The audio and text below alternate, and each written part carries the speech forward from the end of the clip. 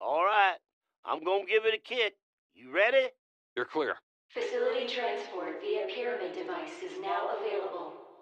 All right. Let's just grab a little juice.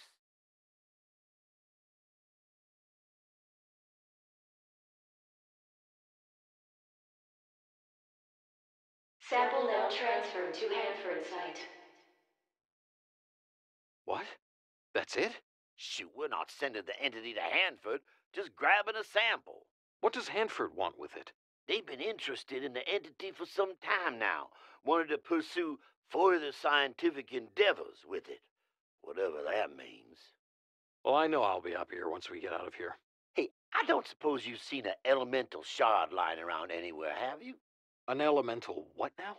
A large piece of rock that looks like glass, gives you a headache when you look at it? No? Haven't seen anything like that? No, sir. Why do you ask? Uh, probably nothing. I always wondered if Poynell kept a piece for himself.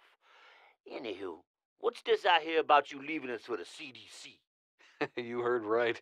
I'll be out at the end of the month for a new opening. Well, we got a long drive back. Can't wait to hear all about it.